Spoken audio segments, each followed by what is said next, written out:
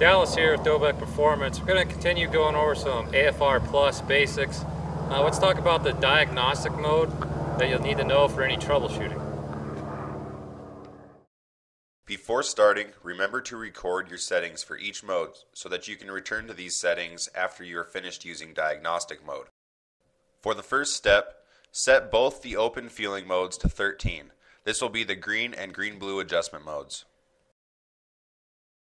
Hit the mode button once to enter the green adjustment mode. Now hit the right or left arrow buttons until the needle points up and down at 13. Now hit the mode button until the green-blue LEDs are flashing. Now hit the right or left arrow until the needle is pointing straight up and down at 13.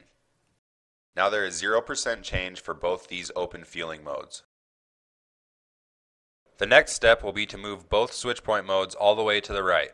We'll do this by making adjustments to the yellow-blue and red-blue adjustment modes. Click the mode button five times to access the yellow-blue adjustment mode. Now hit the right arrow button till the needle scrolls all the way to the right and stops. Now hit the mode button one more time to access the red-blue adjustment mode. Again, hit the right arrow button until the needle moves all the way to the right and stops.